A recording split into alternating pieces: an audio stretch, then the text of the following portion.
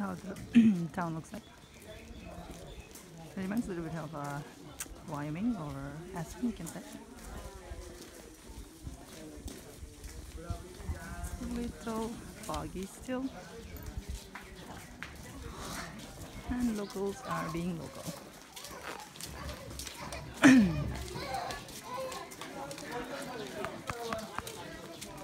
and you can see numbers of hotels,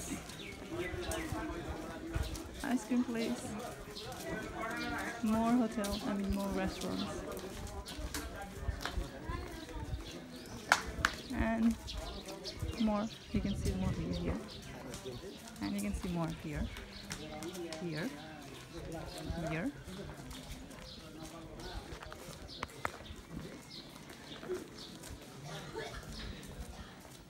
That's it.